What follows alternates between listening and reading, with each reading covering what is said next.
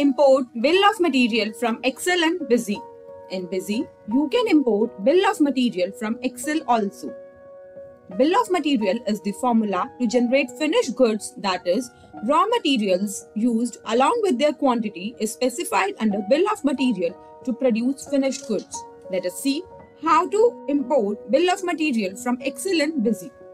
To add bill of material in Busy, we will go to Administration, Masters, Bill of Material option. Now let us see how to import. For this, we will go to Data Export Import menu import masters from MS Excel option. Now here we will select bill of materials. First of all, we will check what all are the mandatory fields in our Excel sheet to import bill of material in Busy. First, bill of material name. Second, item to produce. That means the finished good quantity. Quantity of the finished good you have to specify here. Next is the unit. Then we have type. Under type, you have to specify raw material or byproduct. Next, in the sixth column, raw material or byproduct used as shown on the screen.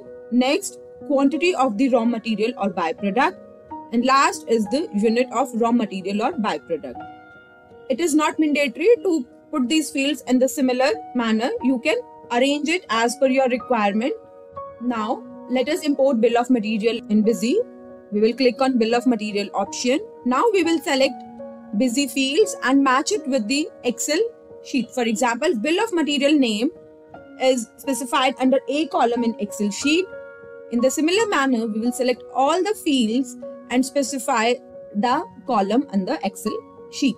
Next, we will specify the starting row and the Excel sheet starting row is number 4 that is from where the data is entered and leave end row as 0 if you want to import all the data from the Excel sheet. Next, you have to specify the Excel sheet number and click start data import. Yes, now you can see two bill of material master imported successfully. For checking, you can go to bill of material list and here you can see two bill of material masters are imported.